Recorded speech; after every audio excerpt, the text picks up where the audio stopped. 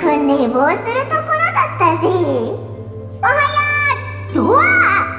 どうしたんだその格好。どうかな？私たち全員夏服に着替えたんだ。遊びに来てるわけじゃないけどせっかくの夏の海だし楽しまないともったいないでしょ？へ変だろうか。こんなひらひらとした夏服。やはり私には合わない気が。すまない。そそうか。ありがとう旅人。けど神団長がわざわざ夏服を用意してるなんて意外だな。違うよ。お姉ちゃんが自分で用意したんじゃなくて私とリサさんが選んだの。あっさりお姉ちゃんって呼んでるし。それに全然気づいてない。バーバラすっかり夏の海に浮かれてるな。この夏服だが私も予想外だったよ。実はリサがくれた袋に入っていたんだ。窮地を切り抜ける道具が入っていると思ったらまさか夏服が入っているとはな。アクセサリーまで入ってたのか。さすがリサさん。騎士団のみんなはこうまでして私を休ませたいということか。私は自分を追い込みすぎているのかもな。みんなこっち来て。んクレイが呼んでいるみたいだ。変なものを発見したよ。なんだ？変なものって。ほら海を見て。変なものが浮いてる。何やら細長い装置のようだ見たところ不評みたいだが。昨日海を渡った時はあんな装置なかったよね。きっとドド大魔王の仕業だよ。一夜にして現れた変な装置。怪しいな。ずっとドド大魔王が出てこないのはクレイを認めてないから？それともクレイが見つけるのを待ってる？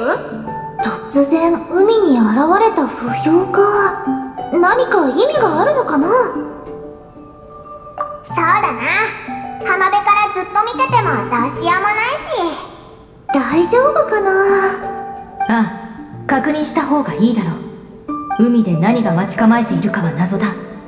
念のため戦闘の準備をしておいてくれ。準備が整ったら私のところに。船で近づこう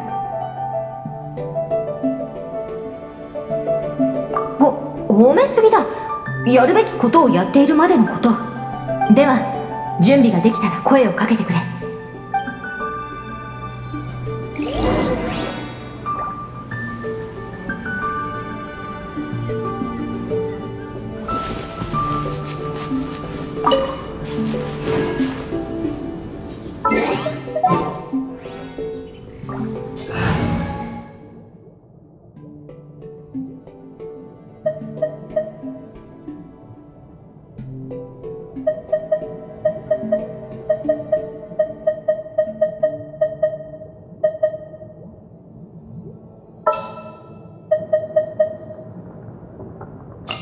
何をすればいい？うん私にできることは。どう？この格好？かわいいかな？このために海と島に合うような格好を選んでみたんだ。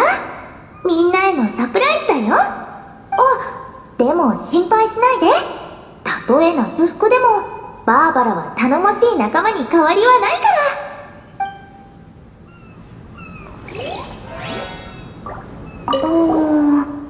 私にそうそう私も気になる海。そして照りつける太陽。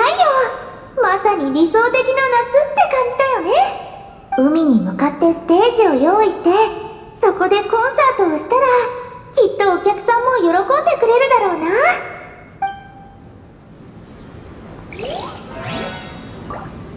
うーん私にできることは。私も気になってたんだ。ここの海って本当に綺麗だよね。海そして照りつける太陽。まさに理想的な夏って感じだよね。海に向かってステージを用意してそこでコンサートをしたらきっとお客さんも喜んでくれるだろうな。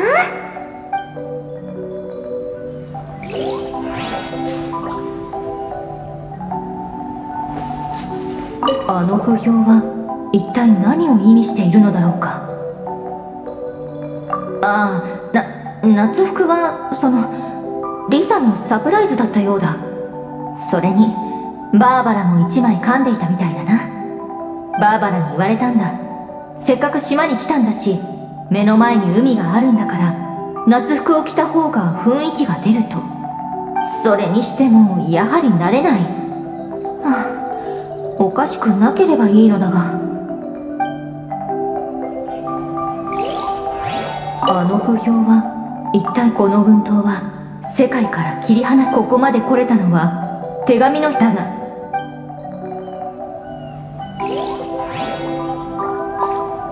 あの不評は一体何を意味この群島は世界から切り離されているみたいだ。まるで自然が作り出した秘境だな。ここまで来れたのは手紙のヒントとウェッティがトワリンを呼んで助けてくれたからだ。しかしことがうまく運びすぎていてやや不安になる。だが私がここにいるのはみんなを守るため。だから安心してくれ。何があろうとも私が共にいる。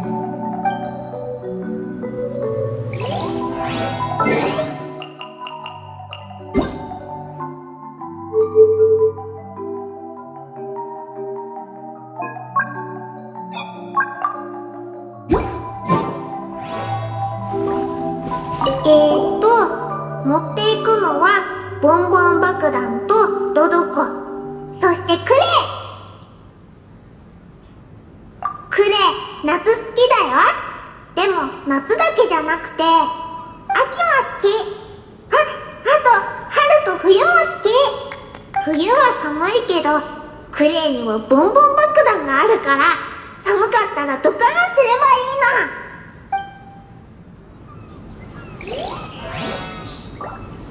えーっと持っていくの。海のあれは絶対ドド大魔王が置いたんだよ。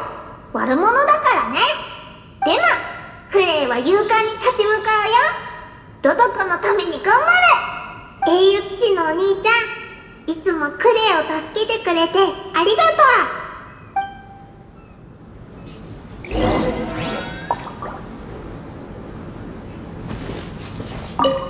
う。準備はいいか？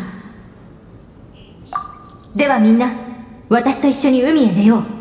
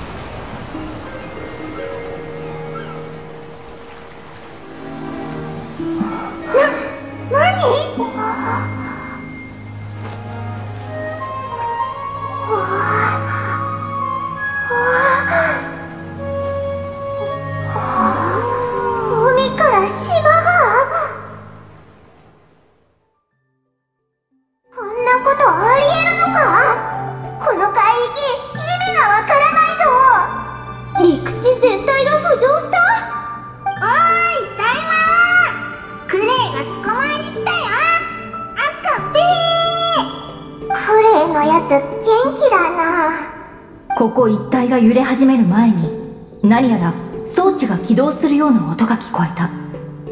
この海の下に巨大な装置があるのかもしれない。おそらくこの島々はその装置の上にあり装置を起動したことによって持ち上げられたんだろう。まるで奇跡みたい。もしかして風神バルバトス様の見業？それは違うんじゃないか？他の誰かが意図的に仕掛けたんだと思うぞどう考えても妙だ。手紙で私たちをおびき寄せこのような装置を使って試してくるなど。ドト大魔王ただものではない。せっかく夏のリゾートっぽい雰囲気を満喫してたのにそれどころじゃなさそうだね。とにかく私は周囲への警戒を強めよう。陣団長ビシッとしててかっこいい協力感謝する。え？い。たタイマーあそこの島にいる。やっと見つけた。言われた通りクレイ来たよ。ボンボン爆弾の準備。よし。早く行こう。あれ？海の真ん中に足場が？確かに。何かいるようだな。みんな近づくのはいいが警戒は緩めないでくれ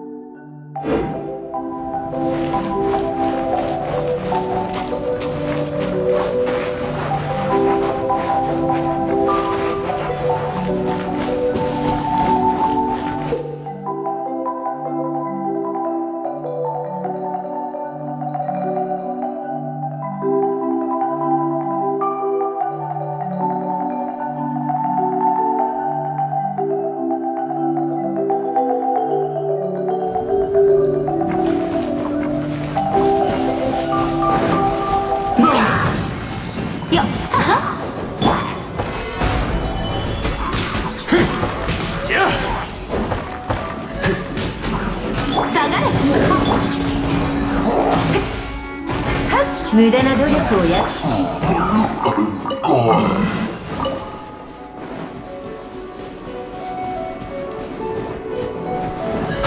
付き合う付き合いはっはっ。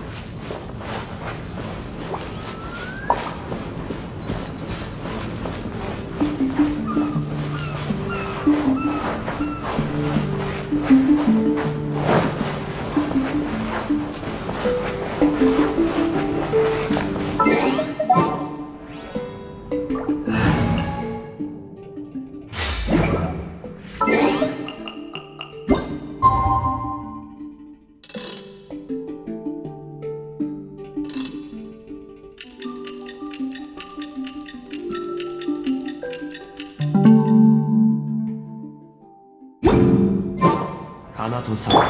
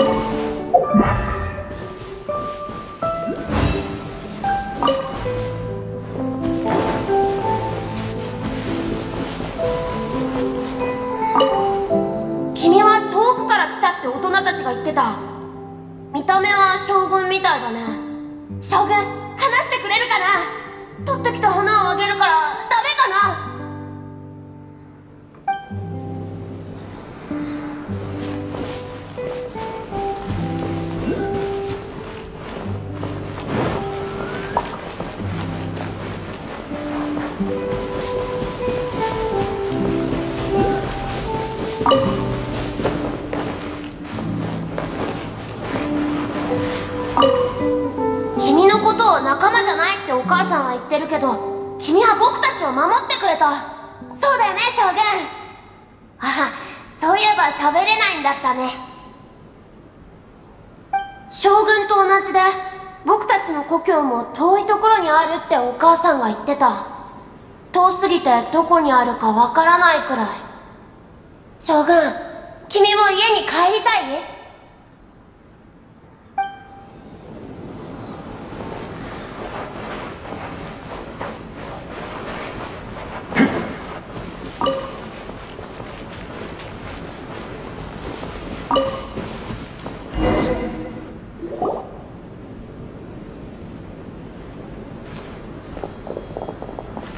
みんな気をつけろ。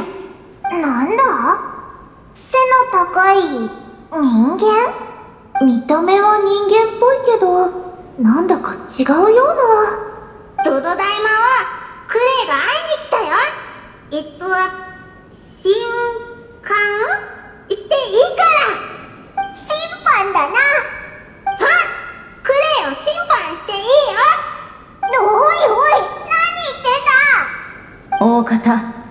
言葉の意味をちゃんと理解していないのだろう。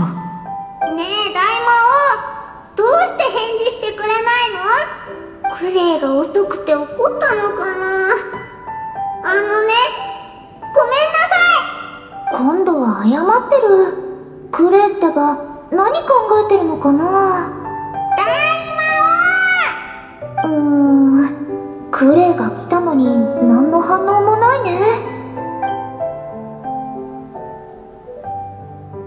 型のからくりのようだ。反応がないのを見るにおそらく壊れているのだろう。前に見たことあるの？あくまで推測に過ぎないが服装を見た限り稲妻から漂流したもののように見える。稲妻だって？すっごく遠いとこじゃないか？ああここは独立した海域だ。どの国にも属していない。この海にとってこのからくりは違法人と言えるな。しかし今の稲妻の現状でこういったことが起きるものなのだろうか。動くことのない違法人。変だな。誰かがここまで持ってきたのかな。え？ー、大魔王動かないの？クレー大魔王は疲れているのかもしれない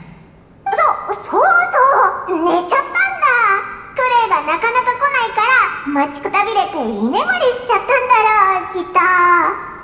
そうだよクレ。イ今はとりあえず他のところで遊ぼう。大魔王が起きたらまた戻ってこようね。本本当だよ。大丈夫だから。当あーあクレイ気づいちゃった。これは本物の大魔王じゃない。本物の大魔王はまた別のどこかにいるんだ。えそそうだな。クレイ諦めないよ。待ってて大魔王絶対見つけてみせるんだから。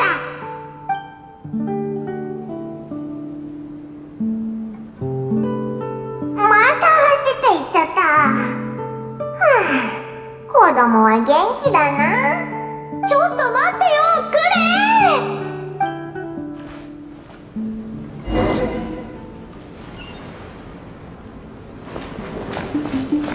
いざ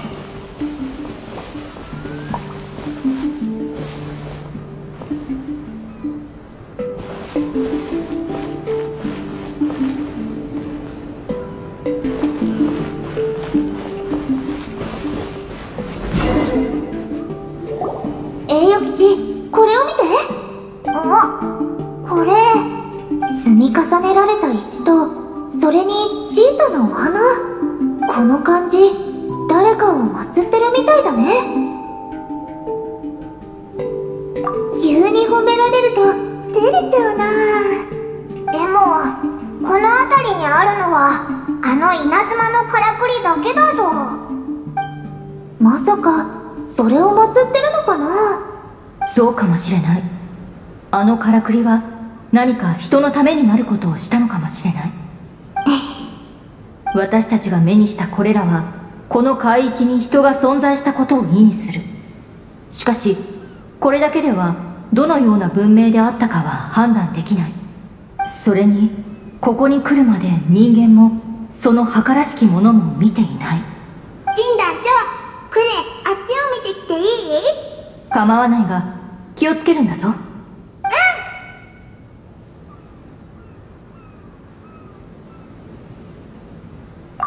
クレイはまだ子供だから危機感に欠けている。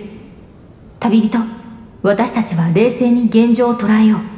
正直言うと最初に手紙を見た時はただのいたずらかと思った。オイラたちもだ。私もだよ。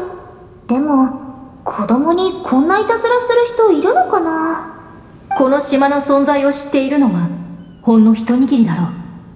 その上あのような精巧なからくりまで用意している。これはいたずらではなく長いこと計画をしてきた罠なのかもしれない。油断しないようにしよう。バーバラお姉ちクレイどうしたの？ゃん大魔王。クレイに会いたくないのかな？どうして？だってドドコはクレイが好き。クレイもドドコが好きクレイとドドコを引き裂けないって分かったから大魔王が出てこないのかも。うー。クレイドドコと離れ離れになるのが怖い。クレイ？ほらこれを見て。バドルドーだ。おねえ。えっと神団長から聞いたんだ。クレイずっとバドル同祭に参加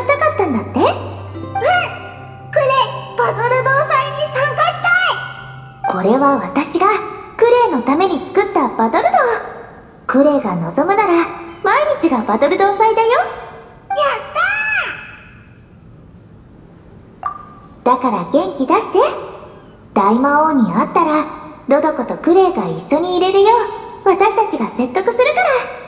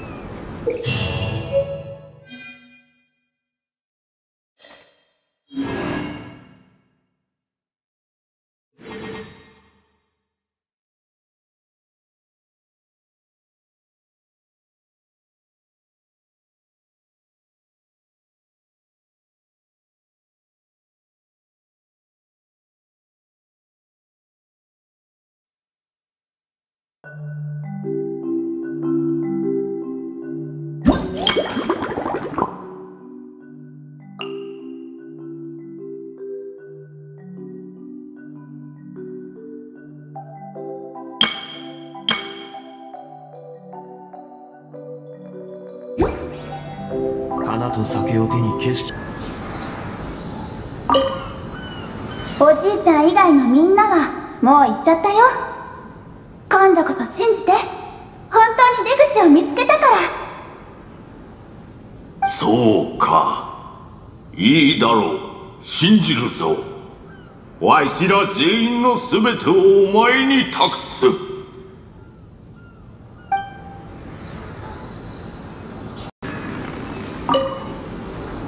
おい見つけたぞ折れたもう片方だまったくカンペイとのやり取りに費やした時間が台無しだ。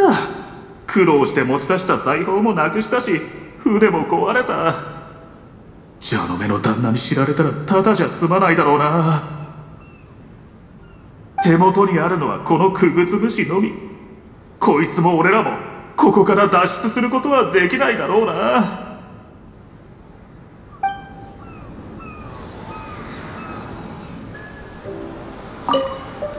今日は固定方向への運行を試したけどどうしても出発地点に戻ってしまう。原因はわからない。言ったでしょ何年もここにいるんだから。思いつく方法はとっくに試したわよ。お前ら島の住民は素人だ。後悔の問題は名の知れた俺たち稲妻海賊の専門分野さ俺たち専門家の意見に従うのが得策ってもんだろ？軍島で遭難した専門家に聞けっていうの？ふっ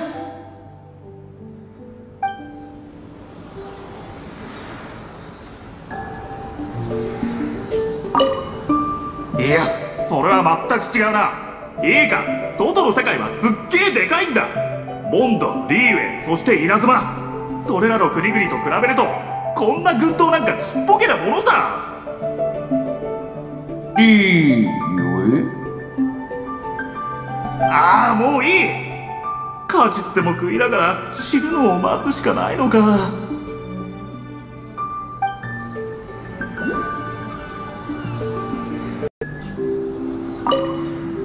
あ？何代もの間ここに閉じ込められてただと？こんな荒れ果てた島に？閉じ込められたわけじゃない。生きるためにはこうするしかなかったんじゃ。ここからは誰も出られん。マジかよ！まさか俺らもここから一生脱出できないってことか？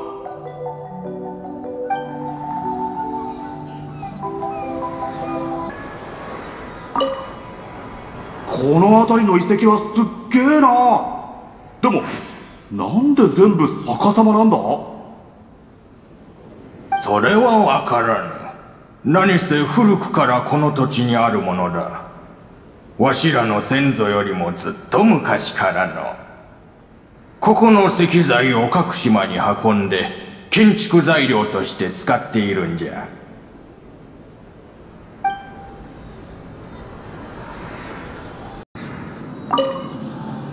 聞いてくれよ。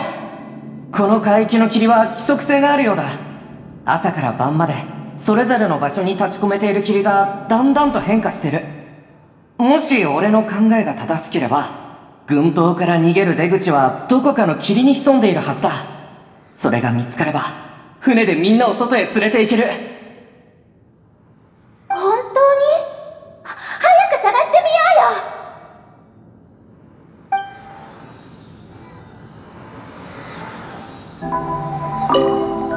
万が一のためにこの代々伝わる家宝をあなたに託すわ。私のばあちゃんによるとこの家宝は遠い故郷から来たものよ。お母さんは幼い頃に故郷を離れたからはっきりとは覚えていないの。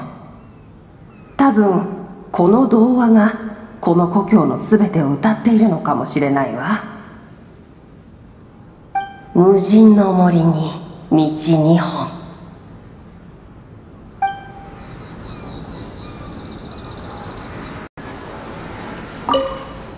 10年前の今日わしらの乗った客船が海難事故に遭い漂着した島に閉じ込められた。今日は大切な日じゃ。バーヤから渡すものがある。これはわしらの故郷に代々伝わるものじゃ。大事に持っておけ。なくすんでないぞ。ばあやが教えた童謡もきちんと覚えといておくれ。いつへの山の隠れ里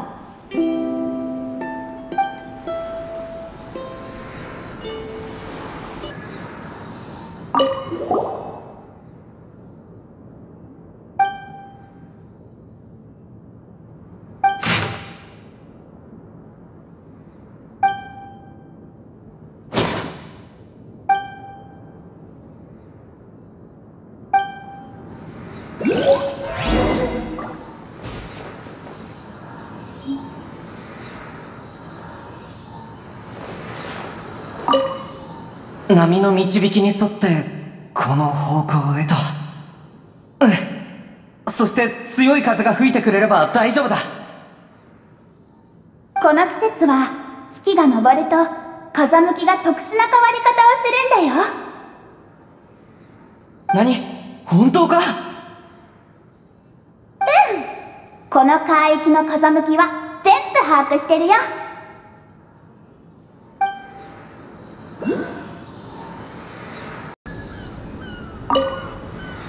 おい聞こえたか島がうなり出した。満潮が来る合図じゃ。早く頂上へ避難せい。こっちだ。この塔を使って上へ登れ。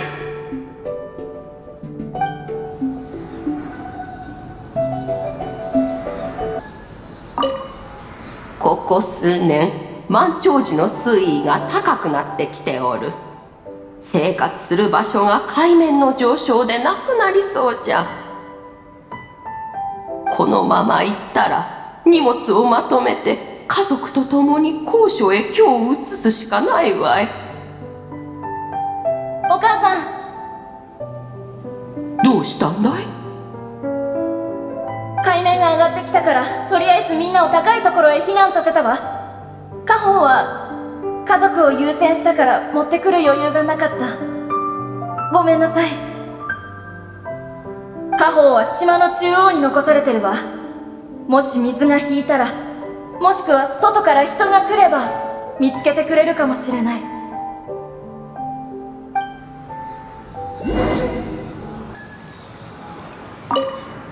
あらかじめここに漁網を仕掛け引き潮まで待つ。すると通りがかった魚が自分から捕まりに来るんじゃ。おおすごいね。ほほ先祖の知恵は計り知れぬ。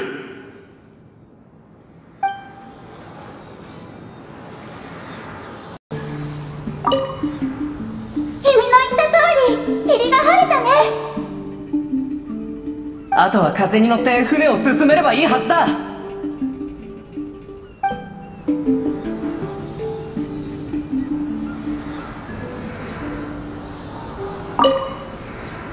もうおしまいだよりによって赤穂東壁の親分が大事にしていた船を俺たちに任せてもらったばかりなのに沈没させちまった金とお宝も全部なくしたバチだバチが当たったんだあんなくぐつ虫盗むんじゃなかったもう俺たちは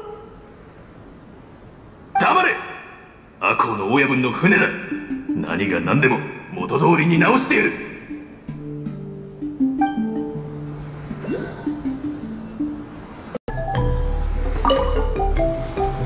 チャールどうしてこんなところに？おい何をする？誰か！助けてくれ！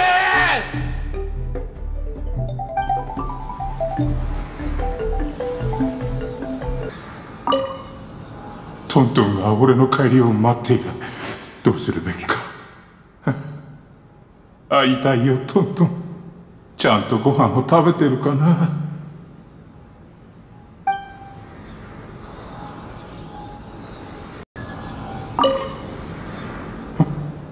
助けに来てくれたのかお命の恩人よありがとう。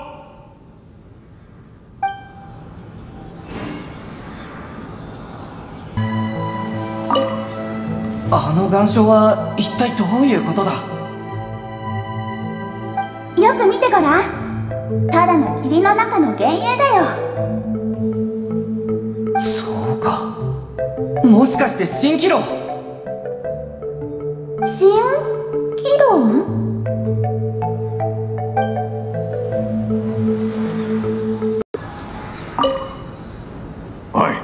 交代だ。こんなとこで居眠りするでない。風邪をひくぞそれで状況はどうだ？どうして寝てたんだ？あ安心してくれ。満潮の気配はない。